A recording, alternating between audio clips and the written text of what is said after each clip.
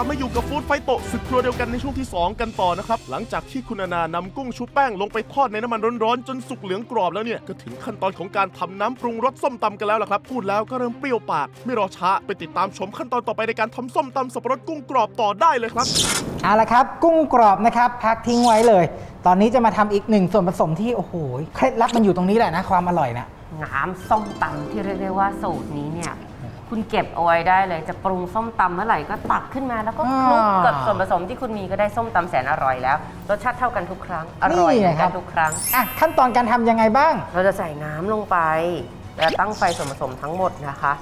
ส่วนผสมอืมของเราจะได้เก็บได้ครับ จากนั้นนะคะน้ำมะขามเปียกไม่ขูดนะอะโอเคไม่เป็นไรเกลือป่นเติมไอโอดีน คุณต้องสั่งเราหนิวันเนี้ยก็ผมเมื่อกี้ผมจะหยิบช้อนให้คุณคุณยังไม่เหลียวเลยเอาขอโทษค่ะขอโทษค่ะจากนั้นนะครับเราจะใส่มิตรผลปี๊บน้ำตาลอ้อยผสมน้ำตาลมะพร้าวนะครับ บอกได้เลยว่าอร่อยสะดวกสะอาดนะครับเอาละครับ มิตรผลปี๊บนะครับ นี่สีสันสวยงามแบบนี้เลยนะครับ ใส่ลงไปเลยขออนุญาตเอ่อนี่ครับอ่าละจากนั้นนะครับเราจะใส่ซอสปรุงรสทดแทนน้ำปลาตราเคดีแคร์นะครับ หลายครั้งเนี่ยนะคะ เวลา รับประทานอาหารที่เป็นแบบส้มตำอะไรอย่างเงี้ยก็จะมีอืมรสเค็ม เราก็จะกังวลใจว่าโอ๊ยเรากินโซเดียมมากไปหรือเปล่าครับ วันนี้เนี่ยนะคะมีตัวช่วยเพราะว่าตัว KD Care เนี่ยนะคะ อร่อยอย่างปลอดภัยด้วยซอสปรุงรสทดแทนน้ำปลาตรา KD Care ย้ำอีกทีว่าตรา KD Care นะ เพราะเขาเป็นสูตรลดโซเดียมมากกว่า 60%ค่ะ ที่สำคัญนะไม่เติมเกลือโพแทสเซียมด้วยอืมโอ้โหอันนี้สบายใจขึ้นเยอะนะ เวลาทานอาหารรสจัดก็สามารถลดโซเดียมแบบนี้ได้นะครับอะ วันนี้เราต้องตั้งไฟจนตัวน้ำตาลปี๊บเข้าละลายใช่ค่ะ แล้วก็หลังจากละลายแล้วก็ลดไฟลงเป็นไฟอ่อนนะคะเคี่ยวจนกระทั่งส่วนผสมของเราเริ่มเหนียว พักทิ้งไว้จนเย็นเขาก็จะข้นขึ้นครับ เราก็จะเอาน้ำปรุงส้มตำตัวนี้เนี่ยนะคะ มาทำเป็นส้มตำสับปะรดของเราโอ้เราจะเคี่ยวจนส่วนผสมเดือดแบบนี้ ลดไฟต่ำนะคะ แล้วก็เคี่ยวต่ออีกพักหนึ่งประมาณ 10 นาทีครับ จากนั้นเนี่ยนะคะ เอา น้ำปรุงส้มตำของเราเนี่ยพักทิ้งไว้จนเย็นสนิทค่ะ แล้วเรามาทำส้มตำสับปะรดกัน คุณนานาก็ได้เคี่ยวน้ำปรุงส้มตำจนเข้ากันเรียบร้อยแล้วล่ะครับ เดี๋ยวเราไปติดตามขั้นตอนต่อไปกันเลยครับแหมเราเตรียมนะทั้งกุ้งกรอบนะครับ แล้วก็น้ำปรุงส้มตอืมำถึงเวลาแล้วฮะคุณผู้ชม ขั้นตอนการทำส้มตำสับปะรดนะฮะกระเทียม พริก นี่พริกขี้หนูนะ อันนี้พริกขี้หนูสวน แล้วก็พริกขี้หนูหืย ดูคุณนานาตำตำตำตำตำแบบนี้น้ำลายสอมากๆเลยครับ คุณผู้ชมครับ น่าจะแซ่บหลายเลย ก็ถ้าอยากให้เผ็ดแบบสะใจหน่อยก็ใส่พริกแห้งเพิ่พริมกแห้งได้นะว่าจะถามอยู่ มันดูจัดจ้านไปนะ นี่ก็เผ็ดมากๆแล้วล่ะ เอาเป็นว่าตรงนี้เนี่ยตามความชอบอืมนะฮะความเผ็ดนะอันนี้เราห้ามกันไม่ได้ใครที่ชอบรสเผ็ดแซ่บยังไงเนี่ยใส่พริกได้ตามใจชอบเลยนะครับ หลังจากได้แบบพริกตามชอบแล้วเนี่ยนะ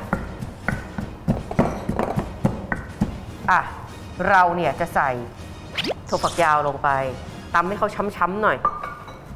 แล้วก็ที่สำคัญเนี่ยนะบ้านเราเนี่ยจะนิยมใส่ถั่วลิสงคั่วลงไปตำตอนนี้เลย เวลาถั่วเนี่ยถูกบุบเนี่ยนะคะเขาก็จะแบบมันๆอะหอมๆมันๆก็จะมีรสชาติแล้วก็กลิ่นหอมขึ้นมาใช่ เวลาผลไม้ช้ำๆหน่อยมันจะหอม อะหลังจากถั่วฝักยาวของเราเริ่มแบบช้ำๆแล้วนะครับ อืม อะก็มะเขือเทศนะครับนี่ อันนี้เนี่ยผมว่าแปลกใหม่นะครับมะนาวเป็นแบบครึ่งลูกแบบนี้นะฮะเราใส่ลงไปแล้วก็ขยี้คนนิดนึงค่ะ อืมอยากให้แบบเวลาเอาครกเอาสากใส่ลงไปเนี่ยนะคะ น้ำมันจากผิวมะนาวก็จะออกมาอย่างเออความหอมเขาอยู่ตรงนั้นใช่ใส่ลงไปอย่างนี้นะอะมันจบขมไหมโอ้โหอร่อย อ่าอร่อยอ่าโอเคไม่ห้าม จากนั้นนะครับแหม่นี่คือน้ำปรุงส้มตำของเรานะครับหนึ่งช้อนแบบนี้เลย โอ้โหแค่นี้ก็ดูรู้ว่าอีกหน่อยแซ่บอีกหน่อยแอ๋อได้จ้ะได้จ้ะอื้อหืออืมอีกไหมพอแล้วพอแล้วพอแล้วโอเค จากนั้นเราจะใส่สับปะรดของเรานะคะ ที่หั่นไว้ชิ้นโตๆแบบนี้ลงไปเลย แล้วนานๆเนี่ยนะ จะใช้สากใส่ลงไป แค่นี้ หลังจากนั้นเนี่ยนะคะ เราก็จะเอาช้อนคลุกคลุกคลุกคลุกคลุกเขา คือใส่สับปะรดนี่ไม่ได้ตำละใช่เราก็จะแบบเหมือนตั้มอะแบบเอียงเอียงๆคลุกเอียงเอียงๆสากไปเรื่อย แต่แบบมันพยายามให้แบบเขาคลุกเคล้าอะใช่ เราต้องการแค่นี้ไม่ได้อยากให้เขาช้ำแบบเละออกมา เพราะฉะนั้นเราก็จะทำแบบนี้นะคะอืมอืมกลิ่นตอนนี้หอมมากจริง ตอนนี้คุณนานาก็ทำน้ำปรุงส้มตำเสร็จแล้วล่ะครับ โดยการใส่น้ำน้ำมะขามเปียก เกลือป่นเสริมไอโอดีน มิตรผลปี๊บ น้ำตาลอ้อยผสมน้ำตาลมะพร้าว และซอสปรุงรสทดแทนน้ำปลาตรา KD Care เคี่ยวจนกระทั่งส่วนผสมเดือดประมาณ 10 นาที หลังจากนั้นก็โขลกกระเทียมพริกขี้หนูสวนพริกขี้หนูแดงถั่วฝักยาวถั่วลิสงขั่วสุกและมะเขือเทศเชอรี่ มะนาว ใส่น้ำปรุงส้มตำที่ทำไว้เมื่อครู่ และสับปะรดตำเบาๆให้เข้ากัน แค่เห็นก็อดใจรอให้เสร็จไม่ไหวแล้วล่ะครับ เราพักกันสักครู่ ช่วงหน้าเรามาจัดจานเอ้จัดจานเสิร์ฟส้มตำสับปะรดกุ้งกรอบกันนะครับ ค่ะ เยอะมากแล้วนะๆเยอะนะเอาหน้าแบ่งคุณผู้ชมนะ ให้คุณผู้ชมด้วยความเต็มใจ อืมอีก2ตัวล่ะ ชิมเองเราต้องชิมทำอาหารต้องชิมอะ